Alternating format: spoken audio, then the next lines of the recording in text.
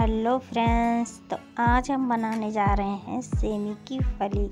ये देखिए, मैंने छील के काट लिए हैं, इनको अच्छे से साफ़ कर लिया है और दो बड़े आलू लिए थे, जिनको मैंने छील के काट के धो के रख लिया है एक कढ़ाई में। ये देखिए कितना अच्छा बिल्कुल ताज़ा फली हैं ये। तो चलिए इनको बनाना स्टार्ट करते हैं। एक मैंने प्याज लिया है, जिसका मैंने छिलका उतार के इसको काट लिया है और तीन से चार मैंने हरी मिर्च ली हैं और एक लहसुन की कली ली है जो बड़ी सी।